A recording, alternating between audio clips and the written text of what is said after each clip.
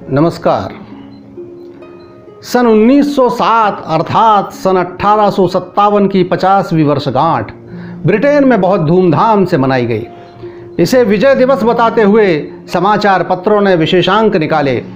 British शौर्य का जमकर बखान और इस स्वतंत्रता संग्राम को कुछ राजाओं का गदर बताते हुए रानी लक्ष्मीबाई नाना साहब पेशवा जैसे श्रेष्ठ भारतीयों को हत्यारा और उत्पाती बताया गया। स्वाभाविक ही इस परिदृश्य को देखकर भारतीय देशभक्तों की आत्मा कलप गई।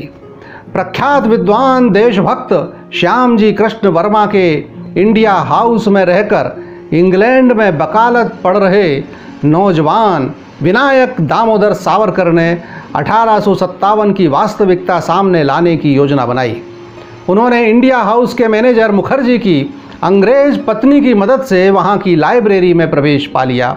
और फिर अंग्रेज़ों की नाक के नीचे, अंग्रेज़ों के ही गोपनीय दस्तावेजों का सूक्ष्म अध्ययन कर उन्होंने एक पुस्तक लिखी अट्ठारह का स्वातंत्र समर। और कमाल देखिए कि अठारह सौ सत्तावन का वास्तविक इतिहास वर्णित करने वाली इस पुस्तक ने स्वयं इतिहास रच दिया। यह विश्व की इकलौती ऐसी पुस्तक बन गई, जिस पर प्रकाशन के पूर्व ही प्रतिबंध लगा दिया गया।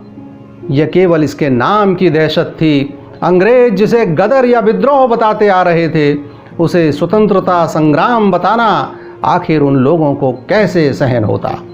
भले ही हमारे प्रथम प्रधानमंत्री चाचा नेहरू भी इसे ही क्यों नेताजी सुभाष के संग्राम को भी गदर ही बोलते आए हों? आइए हम तो अपने इस प्रामाणिक स्वतंत्रता संग्राम का पुण्य स्मरण करें। इसे जानें। 1848 में डलहौजी भारत आया। स्वभाव से जिद्दी, दुस्साहसी राजनीतिज्ञ, जिसका एकमात्र उद्देश्य था भारत की धन संपदा को लूटना। उसका पहला निशाना बना पंजाब। अठारह सौ उनतालीस में महाराज रणजीत सिंह के परलोक गमन के बाद से ही पंजाब अंग्रेज़ों की आँख की किरकिरी बना हुआ था। उत्तराधिकारियों के लगातार सत्ता संघर्ष के बाद भी पंजाब पर काबिज होना अंग्रेज़ों के लिए इतना आसान न था। महाराजा रणजीत सिंह की मृत्यु के मात्र एक वर्ष बाद ही उनके उत्तराधिकारी पुत्र खड्ग सिंह की मृत्यु हो गई। उसके बाद अगले शासक बने नौनिहाल सिंह, किंतु वह भी शीघ्र ही काल के गाल में समा गए।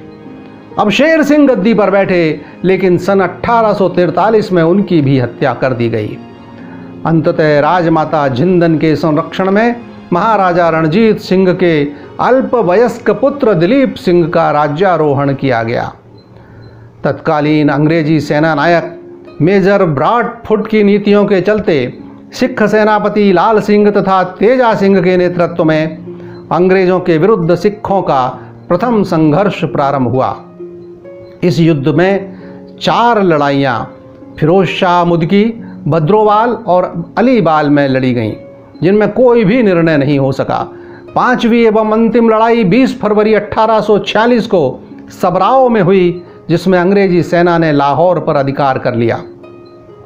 और 9 मार्च 1846 ईस्वी को अंग्रेज़ों एवं सिखों के मध्य लाहौर की संधि हुई। इस संधि के परिणाम स्वरूप सतलुज नदी की दक्षिण दिशा के सभी प्रदेशों पर अंग्रेज़ों का अधिकार हो गया। अंग्रेज़ों ने सिखों से हरजाने के रूप में डेढ़ करोड़ रुपया मांगा। जिनमें से 50 लाख रुपए सिखों ने अपने कोष से दिए तथा शेष रकम के बदले कश्मीर एवं पंजाब के कुछ प्रांत अंग्रेज़ों को सौंप दिए। अंग्रेज़ों ने 50 लाख रुपए लेकर गुलाब सिंह को कश्मीर बेच दिया।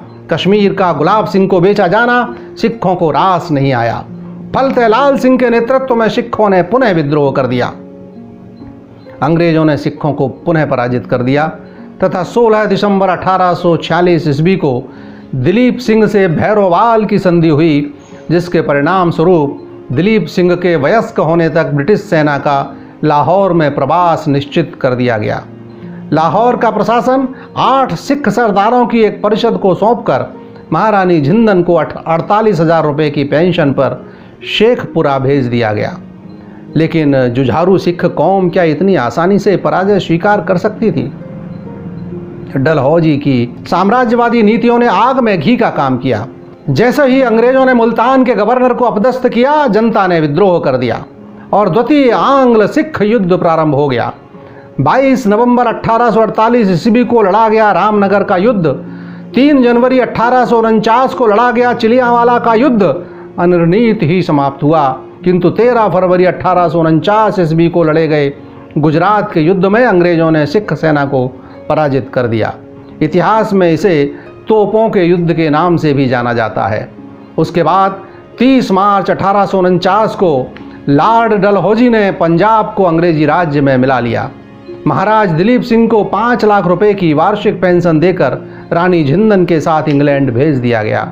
तथा दिलीप सिंह से वह कोहिनूर हीरा छीनकर शाही ब्रिटिश राज मुकुट में लगाने हेतु भेज दिया, जो कभी महाराज रणजीत सिंह के मुकुट की शोभा बढ़ाता था। यह तो डलहौजी द्वारा की गई लूट की शुरुआत थी। पंजाब के बाद उसका अगला निशाना बना महाराष्ट्र का सतारा। सन अठारह में छत्रपति प्रताप सिंह को षड्यंत्र पूर्वक हटाकर अप्पा जी को सतारा महाराज का दर्जा अंग्रेज़ों ने दिया। किंतु जैसे ही अप्रैल 1848 में अप्पा जी का स्वर्गवास हुआ, उनके दत्तक पुत्र को मान्यता न देते हुए सतारा को डलहौजी ने अधिग्रहित कर लिया। वह सतारा जिसकी गद्दी पर सन 1674 में गागा भट्ट द्वारा अभिषिक्त होकर स्वयं शिवाजी महाराज विराजमान हुए थे, जिसके सामने संताजी, घनाजी, निराजी, बाजी जैसे शूरमा भी झुकते थे, उस पर डलहौजी जैसा एक अंग्रेज़ नुमाइंदा, कारिंदा कब्जा जमा बैठा। रंगो बापूजी इस अन्याय की शिकायत लेकर जिस समय लंदन में लीडन हॉल स्ट्रीट की सीढ़ियाँ चढ़ उतर रहे थे उस समय डलहौजी नागपुर को भी अपने अधिकार में लेने का षड्यंत्र रच रहा था। विदर्भ का यह राज्य अंग्रेज़ों के अधीन नहीं था। उससे अंग्रेज़ों के मैत्रीपूर्ण और बराबरी के संबंध थे, लेकिन यह दोस्ती ही उनके सर्वनाश का कारण बनी।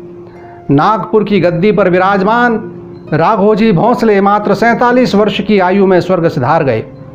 लेकिन बजाय राघोजी की पत्नी या उनके द्वारा दत्तक लिए गए पुत्र को नागपुर का शासक स्वीकार करने के डलहौजी ने छिहत्तर हज़ार चार सौ बत्तीस वर्ग मील का यह विस्तीर्ण प्रदेश हड़प लिया। राज परिवार की कीमती वस्तुएँ हाथी घोड़े ही नहीं तो विलखती रानियों के वस्त्राभूषण भी बाज़ार में कौड़ियों के मोल नीलाम किए गए। महारानी अन्नपूर्णा भाई जीवन की अंतिम साँसें ले रही थीं और उनका शयन कक्ष खोदा जा रहा था। अन्नपूर्णा बाई अपमान की आग में झुलसते हुए शरीर त्याग गईं। लेकिन एक अन्य कुल कलंकनी रानी बांका बाई अंग्रेज़ों की पिट्ठू बनकर उनकी चाटुकार बनने में गौरव की अनुभूति कर रही थी। बाद में अठारह सौ सत्तावन में भी उनकी यही देशद्रोही नीति जारी रही। अंग्रेज़ों की चाटुकारिता में अपने कुल के गौरव को भुलाने वाली बांकाबाई अकेली नहीं थी। हैरत होती है जानकर कि पेशवाओं की महान परंपराओं में से भी एक ऐसे महाशय उत्पन्न हुए, जिन्होंने 1818 में अपना महान साम्राज्य आठ लाख रुपए वार्षिक की पेंशन में अंग्रेज़ों के हाथों गिरवी रख दिया। इतना ही नहीं तो उस पेंशन में से बचाए हुए रुपयों में से भी, जब भी अंग्रेज़ों को ज़रूरत पड़ी, मुक्त हस्त से उनकी आर्थिक मदद की। नाम जानकर तो और भी शर्म महसूस होती है। इनका नाम था बाजीराव। कहाँ वह महान बाजीराव? जिन्होंने मराठा साम्राज्य को सुदूर उत्तर तक पहुँचाया, जिनके घोड़ों की टापों के निशान दिल्ली तक पहुँचे, उसी के वंश में, उसी की नाम राशि वाले एक अन्य बाजीराव ने उसी राज्य को अंग्रेज़ों के हाथों में सौंप दिया।